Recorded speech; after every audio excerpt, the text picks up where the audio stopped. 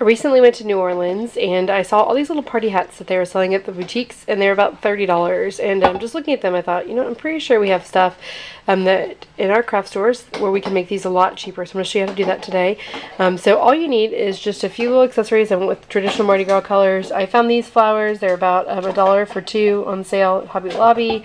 I got these they're about 2.50 there were four of them. I've already used one on the first hat um, I got some feathers, again, used um, coupons, or they go on sale about every other week at a lot of the craft stores. Then this little headband. Um, I just need two scraps of felt.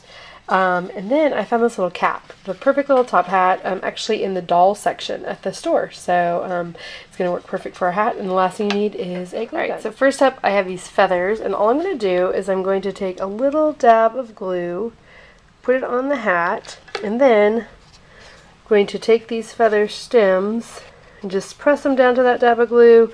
I want them to poke up a little bit. I'm going to have some extra stems left here. And I'm just going to snip those off with some scissors. This, and then to hide them, I'm going to take one of the flowers and stick them right over it, like this. So I've got that. To jazz this flower up, some of them are sold with rhinestones. I'm going to actually take a bead and stick it right in the center of this flower. Um, so I've got the bead stuck down, rolled off the counter, and then I'm going to take another little um, flower. I think I'm going to put it up towards the front though, because that's going to be mainly what's showing on your headband. Take a little green one here, like this. Alright, so we've got our little hat ready to go. can maneuver things around, kind of glue them into place if I want to. And then to attach it, I'm just going to take some glue put it on both sides of the headband um, where I want the hat to go. So I'm put one oops, right here, that, and then one over here.